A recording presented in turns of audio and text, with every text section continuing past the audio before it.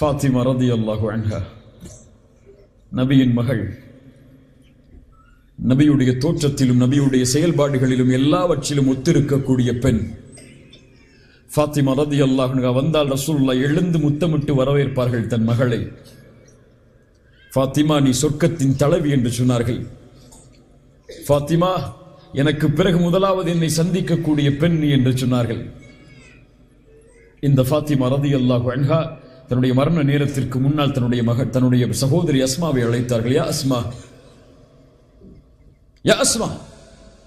ஒருவேளை நான் மரணமாகிவிட்டால்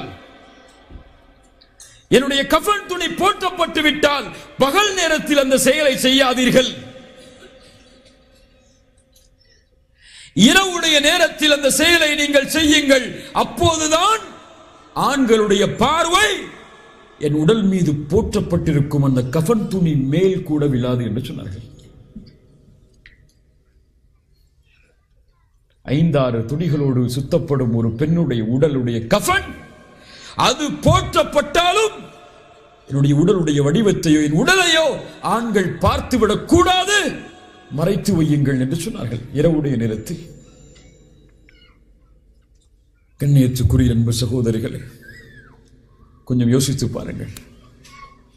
உங்களுடைய போட்டோக்களை பேஸ்புக்கில் போடுவதற்கு முன்னால் உங்களுடைய போட்டோக்களை இன்ஸ்டாகிராமில் அப்லோட் செய்வதற்கு முன்னால் ஹிஜாபை அணியாமல் கல்லூரியின் வாசலில் நுழைவதற்கு முன்னால் உங்கள் உடலின் அழகை மக்கள் பார்க்க வேண்டும் என்பதற்காக நீங்கள் வெளிப்படுத்துவதற்கு முன்னால் இந்த பெண்களுடைய வரலாறை கொஞ்சம் உள்ளத்தில் பதிய வைத்து பாருங்கள்.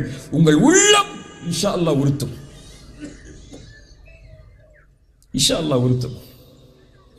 இதுதான் நபி சமூகத்தில் ஏற்படுத்த விரும்பிய வெட்க குணம்.